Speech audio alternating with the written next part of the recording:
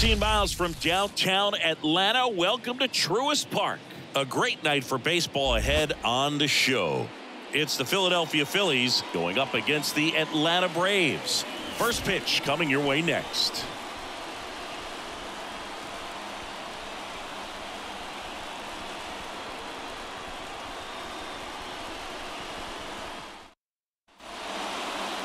So just about set now. And on the hill, Spencer Strider. We know he's one of the best in the game, doesn't make many mistakes, and if he's in a pinch, he'll make up a pitch and throw something that you've never seen before. Kyle Schwarber comes up to hit here. Kyle Schwarber.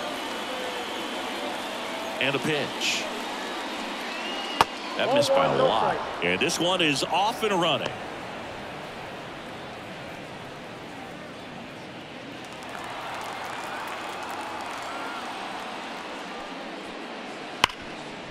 Boots it. But he wins the foot race to first. Good job of knowing how much time he had there. And time now for the Phillies lineup. They're dealing with a top-level arm on the mound, so this figures to be a tough matchup for him. What's the key to the offense today, Singy? Oh, Boog, I think when you got a guy that's this talented on the mound, you got to find ways to disrupt his rhythm, make him uncomfortable a little bit. The guys that can handle the bat and perhaps, you know, bunt, bunt for a base hit, get him moving off the mound. If you're in the box and he seems to be just in a flow, step out, mess up his timing, somehow try to get in his head a little bit. And then when he does come in the zone, you may only get one pitch. You better not miss it. Swing and a miss as he was out front that time. One out, base is empty. Swings and misses, struck him out. Well, clearly just anxious right there, and understandably so in an 0-2 count. You feel like you've got a lot of plate to cover, and you don't want to strike out, and you end up striking out. That's just one of those pitches where it's not over the plate, but because you've committed to it as it was leaving his hand, by the time you realized it wasn't going to be in the zone, it's too late to hold up your swing. Bryce Harper in the box now. No balls and a strike. And Singy, as a team, you need to make the most of the very few opportunities he's going to give you, right? Absolutely. And, and you know, if you don't get to guys like this a lot of times early, once they really settle in, it's going to be the later innings that they hand that ball over to a reliever if they do at all. And now one and two. One ball, two strikes, count.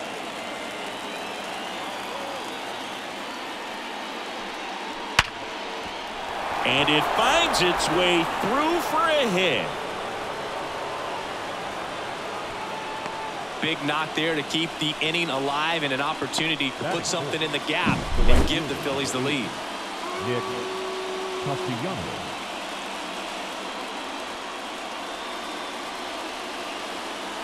So a change being made at first base. Pinch running for the Phils. Edmundo Sosa. Edmundo Sosa. Nick Castellanos at the plate now. That one is absolutely belted into the corner, but foul. If it were an average catcher behind the plate, I'd say take second base, but this isn't a catcher you want to run on. His quick release is unreal.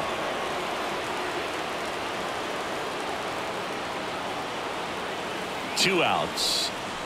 Two one.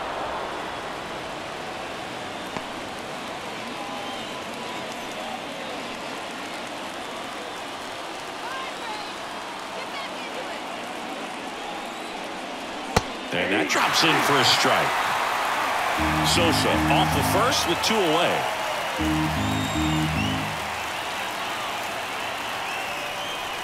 And a swing and a miss. That's out number three.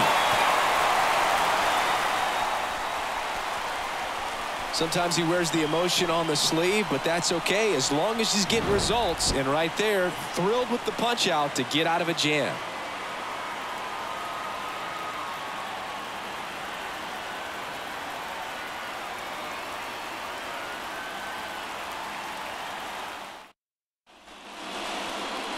Back at Truist Park. And on the hill, the big righty, Zack Wheeler. power pitcher. He's going to speed you up with the fastball velocity, and out of his hand will explode the breaking ball. Very difficult for hitters to keep that front side closed and hit the ball the other way because they know if they're not ready to pull the trigger, the fastball will beat them. Now So coming into the game now on defense, Edmundo Sosa. Edmundo. He takes over as the new first baseman. So now to the plate for Atlanta, Ronald Acuna Jr. The right fielder, Ronald Acuna. As he turns on the rubber and with that good live arm delivers. Up and in, and that is ball one.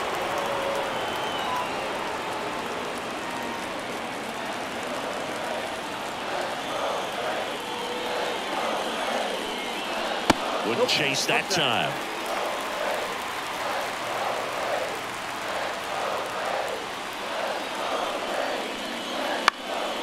Ripped to third and caught. Here's second, Brian Snitker's lineup for the Braves.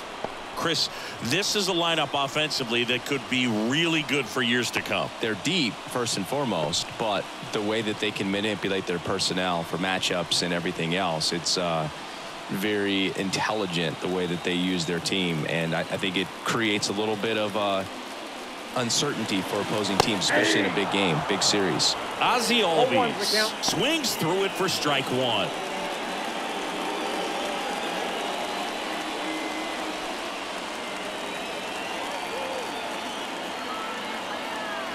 The wind of the pitch. Out towards left center. He's under it. Makes the grab. That's out number two. Batting third, the third baseman, Here's Austin Riley. Outfield deep here, trying to prevent anything over their heads.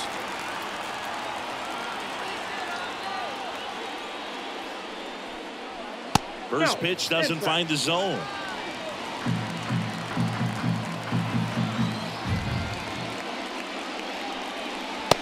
There's a strike. Good heater at 98. Out there on the mound, he's setting the tone early with the fastball, 98 miles per hour up on the scoreboard. Next pitch way upstairs.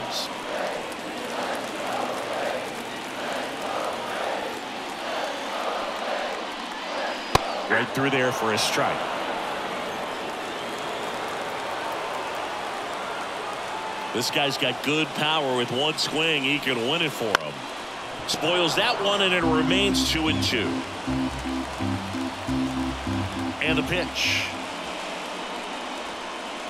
And another ball. Matt Olson in the on deck circle, hoping to get a chance to make a big impact here.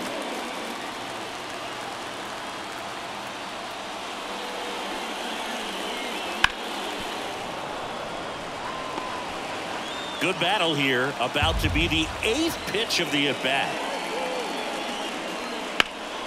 This one high in the air to left center. Sizing this one up. Makes the grab, and that's the inning. Scoreless after one.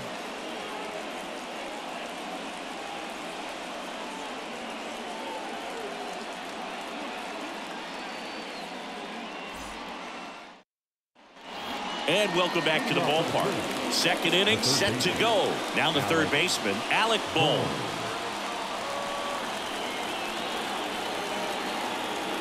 And here it comes. That one finds the corner. 0 1. I mean, that's perfect location right on the black. I mean, over and over again, this guy demonstrates the ability to hit those spots. They're so tough to do anything with as a hitter. Mike Fillmore, our plate umpire. Very consistent with his zone, Chris. Gets a lot of praise for that. He does, Boog, and I think that with any umpire, you really just want them to be consistent. Fillmore's a guy that does a good job back there in that way, so people around the league really appreciate his consistency. Curveball kind of backed up on him there. I think it just slid out of the hand a little bit too soon. Phillies fans want a strikeout. Oh. And now the count is even.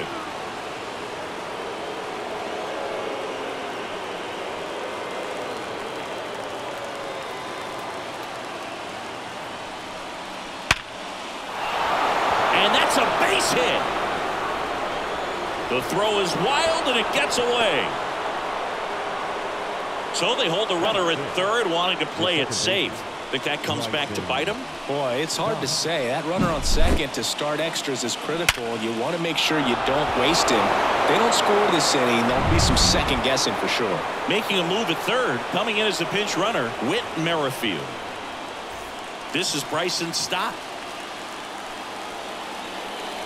And that's through there for a strike. 0 and 1.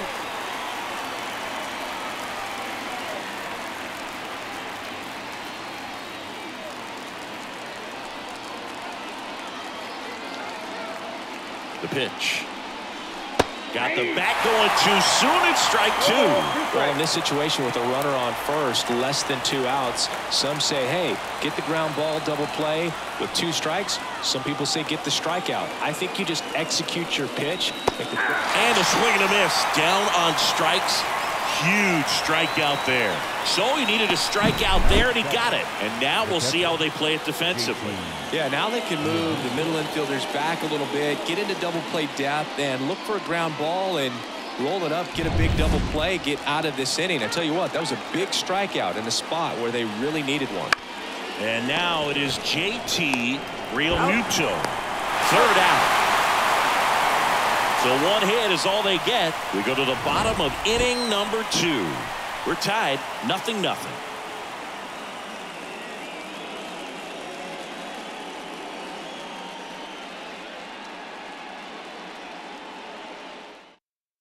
Now into the ball game on defense, Whit Merrifield. He takes over in right. With Runner in scoring position, no outs. Here's Matt Olson. If you don't get ahead in the count, you can forget about having any success against him. The right-hander back to work. Line drive.